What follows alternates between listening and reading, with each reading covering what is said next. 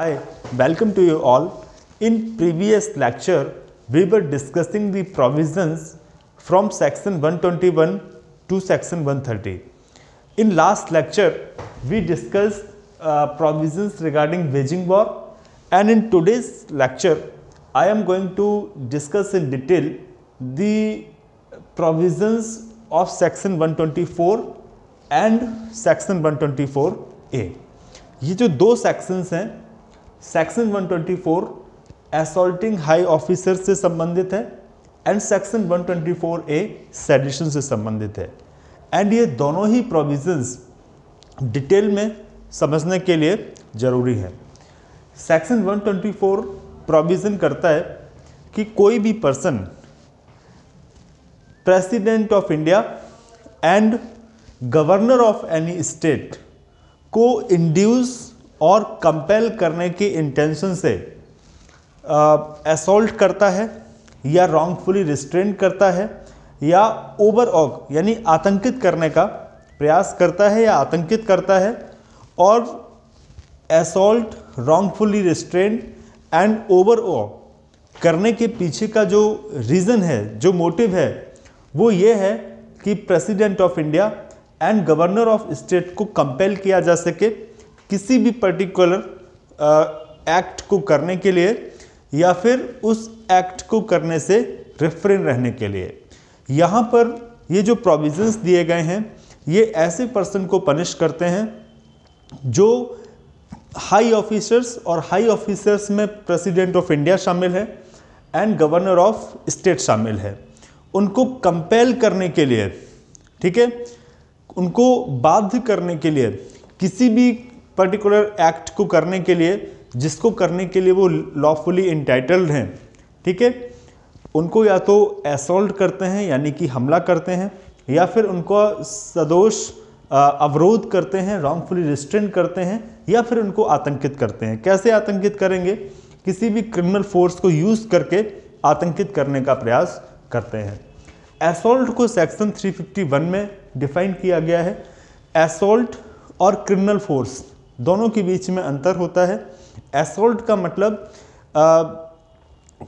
Criminal force को use करने का प्रयास, ठीक है? और एसोल्ट जो है वहाँ पर क्रिमिनल फोर्स का एक्चुअल यूज़ नहीं होता है, ठीक है? एक्चुअल यूज़ करने की दिशा में एक प्रयास होता है, ठीक है? एक प्रोसेस होता है। और रॉन्गफुली रिस्ट्रेंट सेक्शन 339 में इसको डिफाइन किया गया है। यानी कि किसी पर्सन को किसी पर्टिकुलर डायरेक्शन में जाने से रोकना ये रॉन्गफुली रिस्ट्रेंट होता है। और इस तरीके से president of India and governor को अगर कंपेल किया जा रहा है इंड्यूस किया जा रहा है इस इंटेंशन के साथ कि वो पर्टिकुलर कोई भी लॉफुल एक्ट करें या फिर उसको करने से रेफरेंड रहें तो फिर आ, ऐसा एक्ट ऑफेंस माना जाता है और सेक्शन 124 के अंतर्गत पनिशेबल है। सेक्शन 124 के अंतर्गत जो पनिशमेंट दिया गया है, वो सेवन ईयर्स तक का है, ठीक है? इसमें लिखा हुआ है shall be punish with imprisonment of either description for a term which may extend to seven years and shall also be liable to fine यानी कि ऐसे पर्सन को फाइन्स ऐसे पर्सन के ऊपर फाइन भी लगाया जाएगा। अब इसके बाद आगे बढ़ते हैं। Section 124 A section 124 A is related to offence of sedition sedition को हिंदी में बोला जाता है राजद्रोह. राजद्रोह के ऑफेंस से uh, संबंधित है सेक्शन 124 ए सेक्शन 124 ए में बोला गया है whoever by words signs visible representation or otherwise कोई भी व्यक्ति, कोई भी पर्सन वर्ड्स के द्वारा या और भी, और वर्ड यूज़ किया गया है, किसी साइन के द्वारा या फिर विजुअल रिप्रेजेंटेशन के द्वारा या अदरवाइज़ ब्रिंग्स और अटेम्प्ट टू ब्रिंग्स ठीक है? इनटू हेटर्ड और कंटेम्प्ट और एक्साइट और अटेम्प्ट टू एक्साइट डिसअफेक्शन ठीक है? टूवर्ड गवर्नमेंट ऑफ़ इंडिया यानी कि कोई पर्सन शब्दों के द्वारा या साइन के द्वारा, ठीक है, कुछ बोल के, है ना वर्ड्स रिटन और स्पोकन यानी कि किसी पब्लिक प्लेस में, किसी सभा में, है ना, या किसी भी कम्युनिकेशन के माध्यम से कुछ ऐसा वर्ड्स बोल रहा है, कुछ ऐसी भाषा, कुछ ऐसे शब्द बोल रहा है, ठीक है, या फिर किसी ऐसे साइंस का सिंबल्स का प्रयोग किया जा रहा है, जैसे लोग प्ले कार्ड लेके घूमते हैं कार्टून बनाते हैं, या विजिबल रिप्रेजेंटेशन के थ्रू है ना विजिबल रिप्रेजेंटेशन किया जा रहा है और इस तरीके से डिसअफेक्शन यानी कि एक घृणा का भाव उत्पन्न किया जा रहा है या उत्पन्न करने का प्रयास किया जा रहा है किसके प्रति? गवर्नमेंट ऑफ़ इंडिया के प्रति। तो ऐसा एक्ट सेडिशन के अंतर्गत माना जाता है। और ऐसा पर्सन पनिशेबल होता है इम्प्रिजनमेंट के लिए, ठीक है, जो कि तीन वर्ष तक का हो सकता है। राइट सेक्शन 124 ए यहाँ पर जिस तरीके का प्रोविज़न किया गया है, वो थोड़ा सा कंट्रोवर्शियल है। क्योंकि कॉन्स्टिट्यूशन का आर्टिकल 19 आज़ादी देता है राइट देता है स्पीच एंड एक्सप्रेशन का। क्लियर और स्पीच एंड एक्सप्रेशन का राइट जो दिया गया है आर्टिकल 19 के अंतर्गत, उसके ऊपर ये जो सेक्शन 124 ए है, वो रीजनेबल रिस्ट्रिक्शंस लगा रहा है। तो यहाँ पर दोनों को बाइफरकेट कर पाना, दोनों की सीमाओं का निर्धारण कर पाना थोड़ा सा कठिन होता है, क्योंकि कौन से वर्ड्स कौन से साइंस कौन से विजुअल रिप्रेजेंटेशन ठीक है, कब, किस समय सेडिशन के अंतर्गत आ जाएँगे, ये कह पाना थोड़ा सा मुश्किल होता है। लेकिन, जैसा कि हम लोग कॉन्स्टिट्यूशन आर्टिकल 19 में पढ़ते हैं कि every right given under article 19 of Indian constitution is coupled with reasonable restrictions. No right under constitution, no fundamental right under constitution is ultimate. कोई भी अधिकार कॉन्स्टिट्यूशन में आत्यंतिक नहीं है अल्टीमेट नहीं है। प्रत्येक फंडामेंटल राइट जो है, वो रीजनेबल रिस्ट्रिक्शंस के साथ है। तो इसी तरीके से कोई भी ऐसा एक्सप्रेशन नहीं किया जा सकता है, जो कि गवर्नमेंट ऑफ़ इंडिया के अगेंस्ट डिस अफेक्शन पैदा करता हो, लोगों के अंदर घड़ा का भाव पैदा करता हो। जैसे एग्ज़ाम्पल के तौर पे समझ सकते हैं, बहुत सारे लोग नक्सलाइट एक्टिविटीज़ को सपोर्ट करते हैं टेररिस्ट एक्टिविटीज़ को सपोर्ट करते हैं और उससे संबंधित कोई बुक पब्लिश करते हैं जो कि गवर्नमेंट ऑफ़ इंडिया के अगेंस्ट डिसअफेक्शन का भाव पैदा करता हो। तो ऐसी स्थिति में ऐसा पब्लिकेशन ऐसी बुक ऐसे वर्ड्स जो है ऑफेंस माने जाते हैं उस पर्सन के द्वारा किया जाने वाला जो ऐसा पब्लिकेशन कर रहा है। और ऐसा ऑफेंस सेक्शन 124 ए के अंतर्गत पनिशेबल होता है। इससे रिलेटेड एक इंपॉर्टेंट केस है, ठीक है? Kedar Singh, Kedarnath versus state of Bihar का। यहाँ पर यह बोला गया है कि केवल वही एक्ट ठीक है?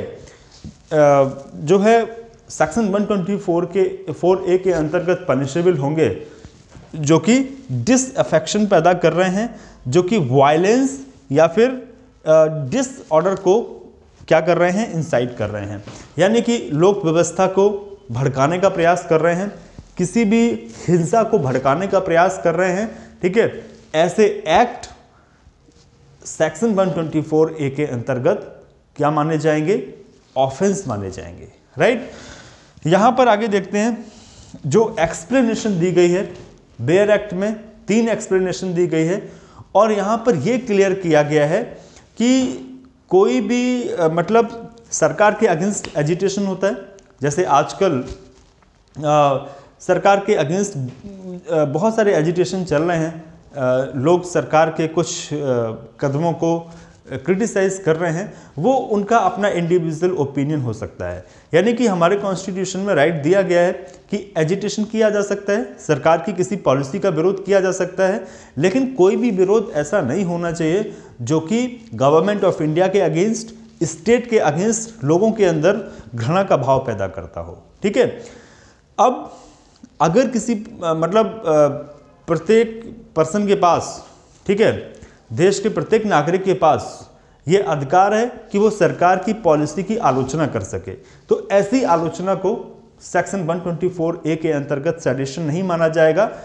इसके एक्सप्लेनेशन में यही बताया गया है। Disapprobation of measures of government with view to obtain alteration by lawful means without exciting hatred not included in this offence यानी कि कोई भी ऐसा डिसअप्रोबेशन यानी कि सरकार की किसी पॉलिसी को लोग क्रिटिसाइज कर रहे हैं, उसका अनुमोदन नहीं कर रहे हैं, ठीक है? और इस इंटेंशन के साथ, इस विचार के साथ कि ऐसी पॉलिसी में परिवर्तन किया जा सके, ऐसी पॉलिसी में ऑल्टरेशन किया जा सके।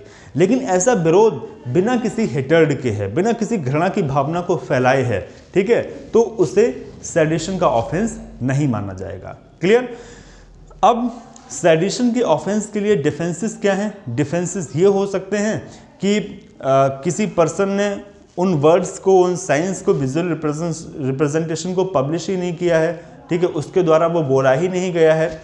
या ऐसे पर्टिकुलर वर्ड्स साइन और विजुअल रिप्रेजेंटेशन के थ्रू डिसअफेक्शन का भाव पैदा नहीं किया जा रहा है ठीक है? या ऐसा कोई भी एक्ट गवर्नमेंट ऑफ़ इंडिया के अगेंस्ट नहीं है। तो ये सेक्शन 124 ए के डिफेंस हो सकते हैं तो ये दो प्रोविजंस जो हैं सेक्शन 124 एंड सेक्शन 124 ए को आज हमने डिटेल में डिस्कस किया in next video in next lecture I will discuss further of Indian Penal Code. Uh, so keep watching this lecture series. Thank you very much.